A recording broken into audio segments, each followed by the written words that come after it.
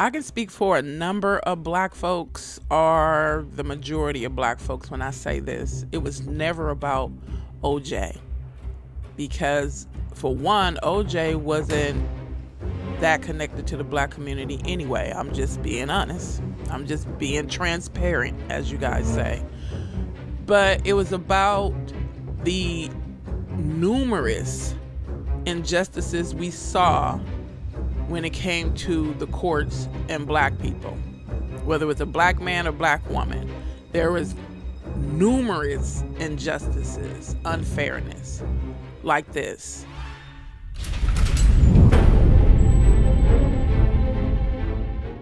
Once he's arrested for driving with a suspended license, they can search his car. Officer Oliver leaves the car, does a 360, and then goes back in the car, retrieving a sealed liquor bottle and pours it out. That was the sound of the seal on the liquor bottle breaking. Here's another angle. While Officer Muth questions Riley about marijuana again, Somebody else is smoking your car early? Oliver tosses the empty bottle into the passenger seat. They don't find any marijuana in the car. Here's Officer Oliver.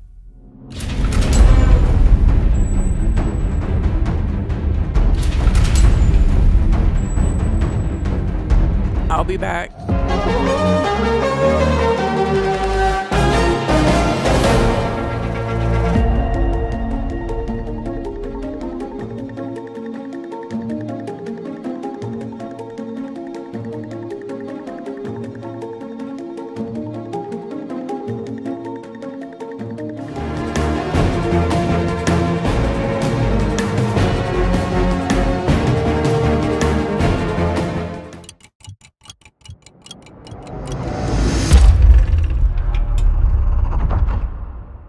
They was mad as the devil when they heard this. Simpson, would you please stand and face the jury?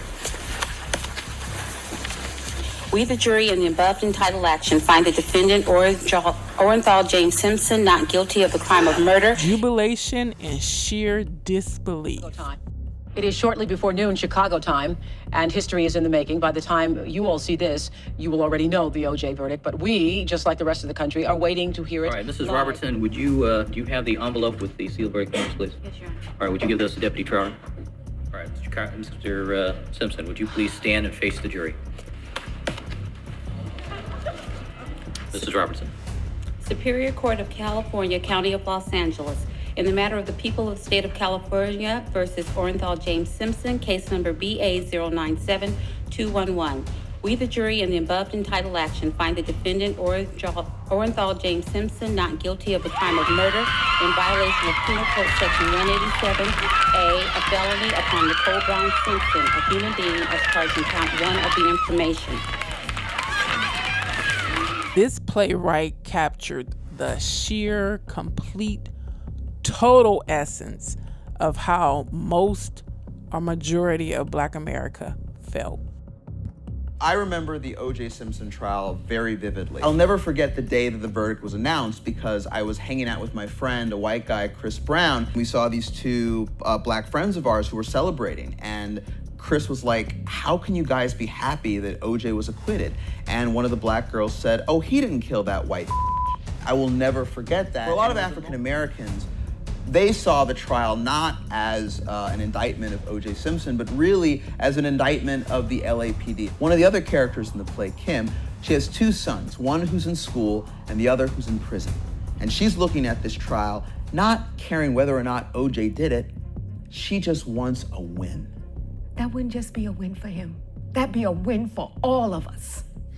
For all the black men that's been railroaded by the system.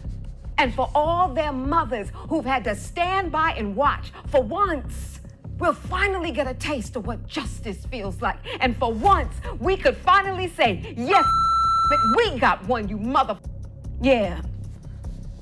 We got one. Let me try to comprehend how mad y'all were when y'all heard that verdict. Were you mad like we were when this happened?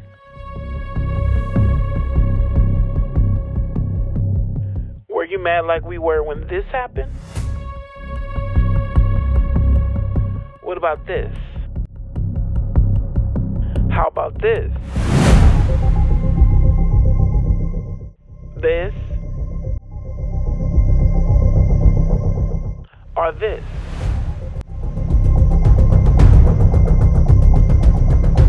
The O.J. Simpson trial encompassed a litany of things. There was race. Some might want to act like it had nothing to do with race. If you believe that, I have a bridge I'd like to sell you.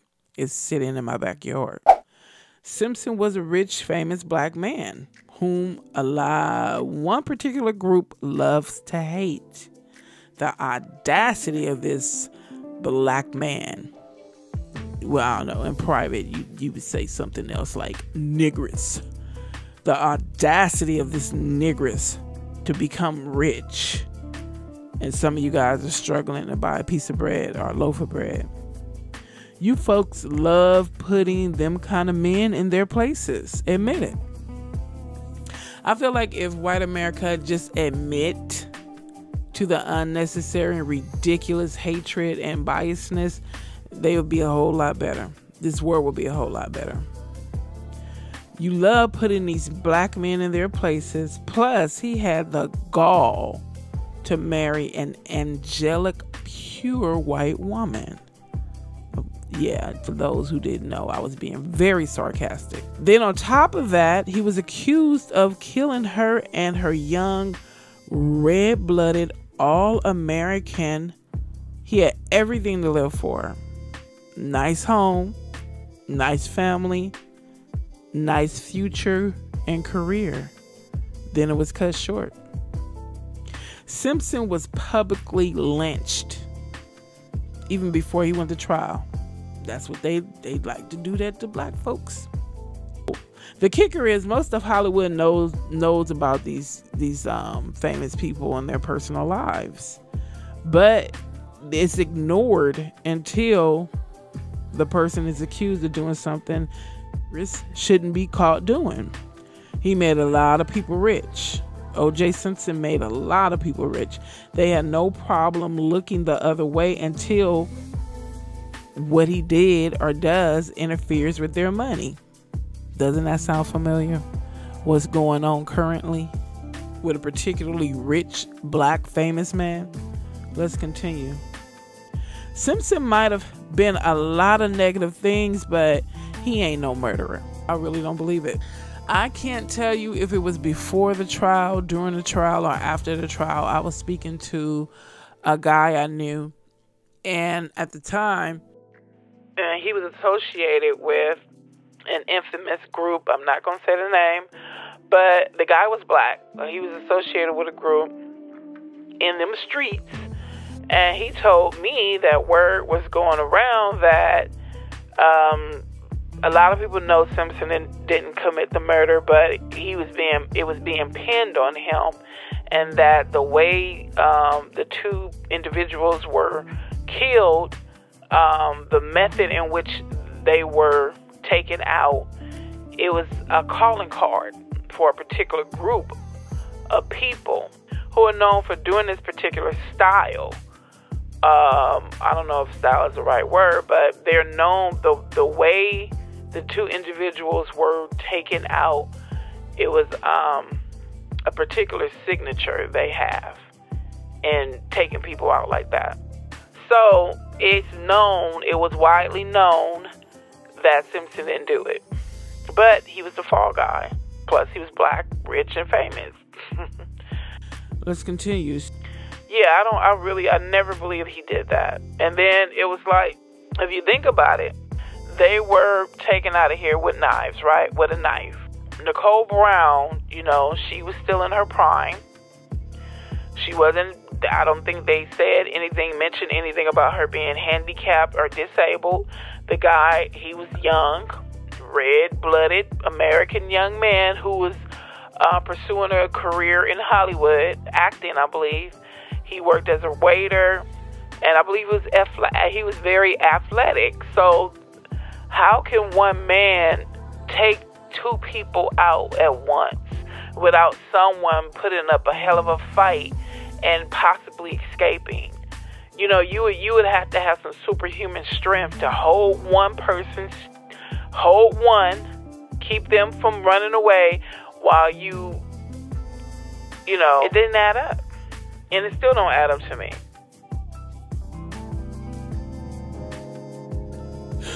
Let me continue.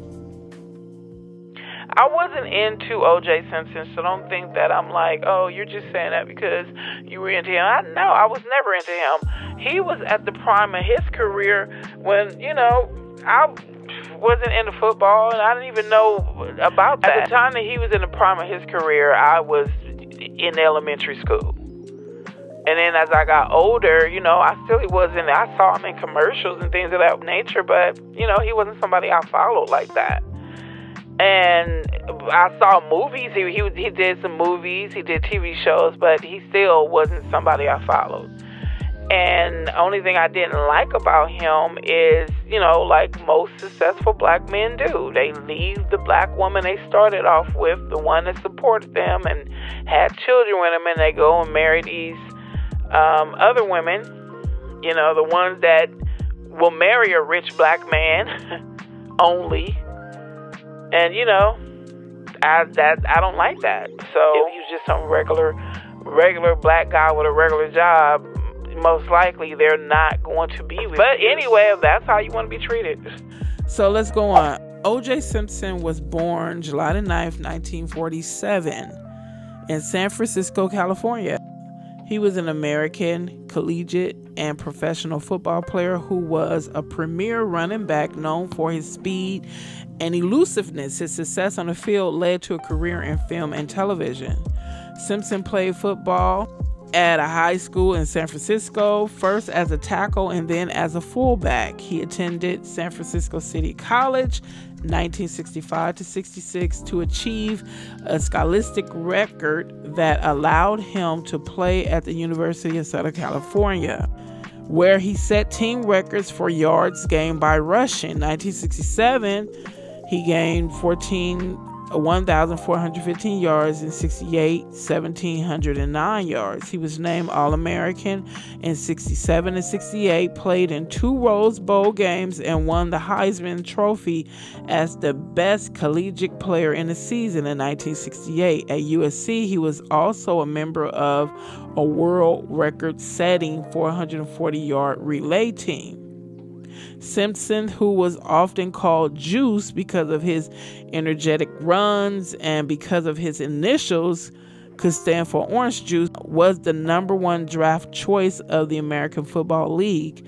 Buffalo Bills in 69. The following year, the AFL merged with the National Football League.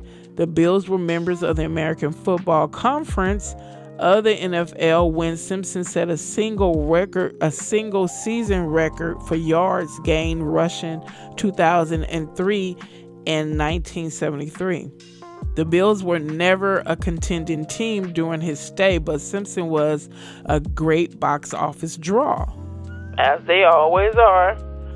Injuries to his knees prompted the Bills to trade him in 78 to the San Francisco 49ers, but he retired after the 79 season. His 75 record of most touchdowns scored in the season 23 stood until 1983, and his 1973 season rushing record for most yards gained lasted until 1984 when it was broken by Eric Dickerson.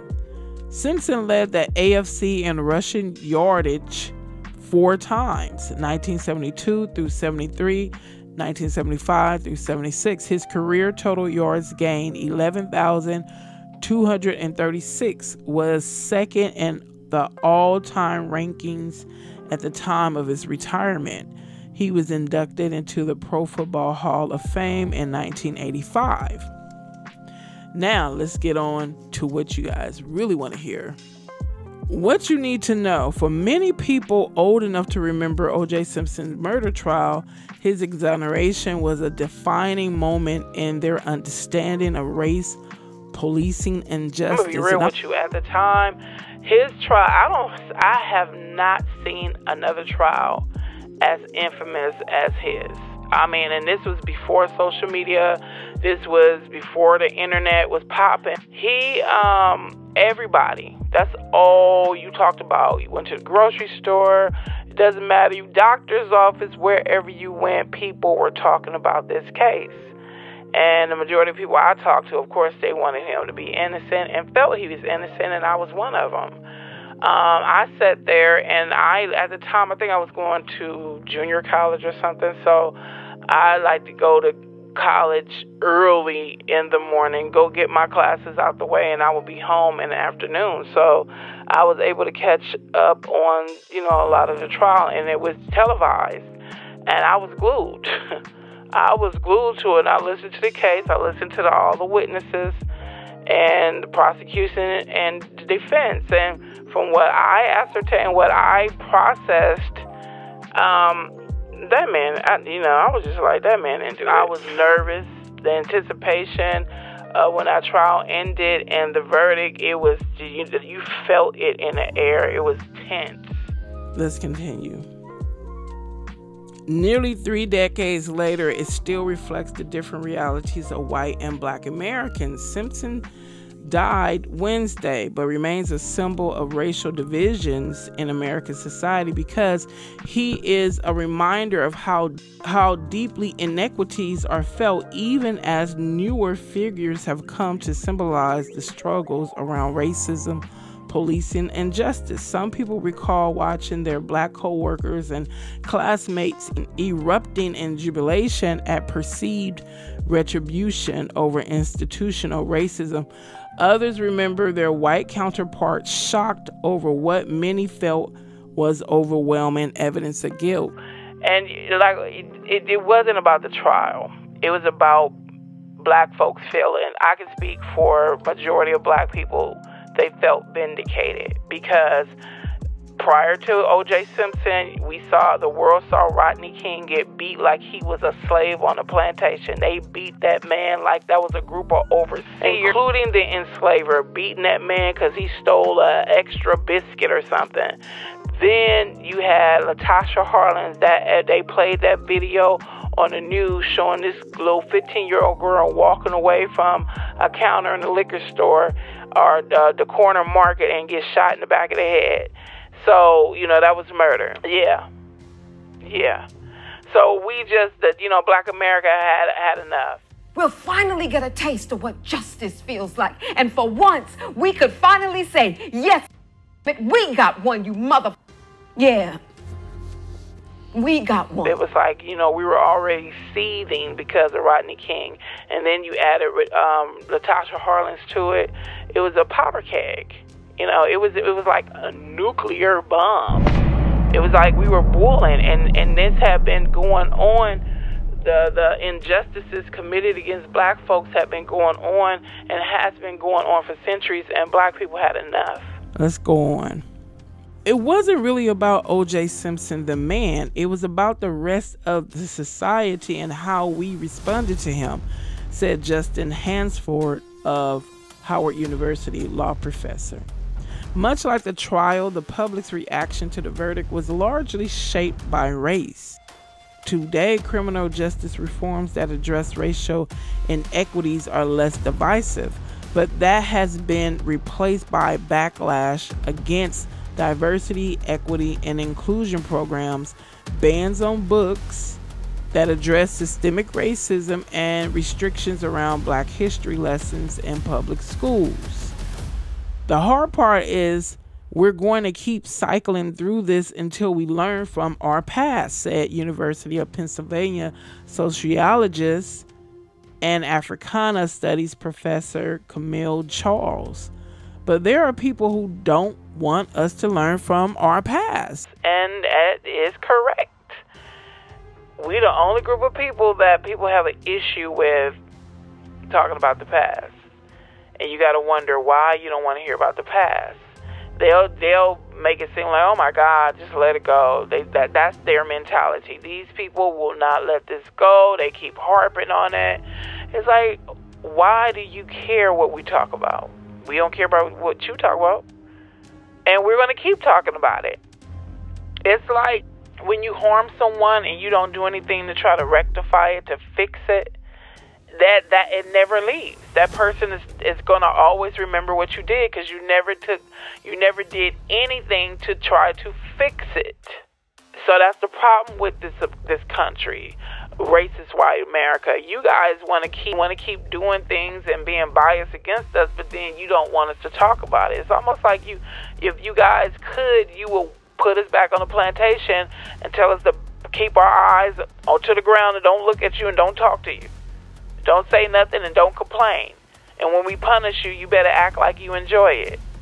That would never happen again in life. I promise you. So get it out your mind. Get it out your mind. Let's go on. During the trial, African Americans were four times as likely to presume Simpson was innocent or being set up by the police, said UCLA Executive Vice Chancellor and, and Provost Darnell Hunt, who at the time was a young sociologist writing a book about the different ways black and white Americans saw the trial. The case was about two different views of reality or two different takes on the reality of race in America at that point in history, he said. Simpson's trial came on the heels of the 1992 acquittal of police officers in the beating of Rodney King in Los Angeles, which was caught on video and exposed America's deep trauma over police brutality. For many African Americans in 1995, Simpson's acquittal represented a rebuke of the institutional racism in the justice system. But many white Americans believe Simpson and his defense team played the race card to get away with murder. And I'm so tired of hearing white folks say, stop playing the race card. And I, I, I just would like to remind you, white people, you guys are the ones who play the race card. Racism, white privilege, division. And it was so funny. It would be funny if it wasn't sad. When somebody would come uh, in, in some of the videos or shorts I do, they'll say, "All you're doing is is is, is causing division." like, what kind of planet do you guys? What kind of mind do you have to have to think that division only comes when people talk about the past? Like it's it it is not here until black folks discuss the past. What mindset do you have to? How do you process things? What? Please tell us what world you live in mentally, because a lot of us who are not Caucasian know that there is division. Hispanics know, Asians know. A lot of non-black folks know there is division in this country. Especially especially when you go to their countries and and you buy islands and you buy locations and then you put up signs telling them they can't trespass and they're natives to the land. That's the vision. when you go to all white communities in this country, which I'm still trying to figure out how in 2024 you have majority white communities, but you guys, you know, move and groove wherever you want to. In whoever community, you go and just plant your flag there. Like, I don't give a F how y'all you guys feel about us living here. I'm going to live here and I'm going to look through you and treat you like you don't exist. That's how you guys are when you walk when you move into their communities. You treat them like they're not even there. That is so rude and disrespectful. But then you have all white communities, and let somebody move into that community that um, don't look like you, and see how welcoming you are. But then you move into other people communities, and most of them don't even pay you much attention because they're just trying to survive. But I believe some people, the communities you guys gentrify in, they should start making you feel uncomfortable as you make them feel when they move into your communities. Wouldn't that be fair? Let's continue. The difference could be seen in many ways black media outlets cover the trial compared to mainstream publications, Hunt said. Those outlets tended to raise questions about whether the justice system was really fair in terms of what might be called the black experience, he said. Polling in the past decades shows mo- most people still believe Simpson committed the murders, including most African Americans, but the racial and historical dynamics at play in the trial made it about more than the murders. Hansford, the Howard University law professor who was black and was 12 years old at the time of the Simpson verdict, said he remembers the difference in white and black reactions, even in liberal environments like Silver Spring, Maryland, the Washington sur- suburb where he grew up.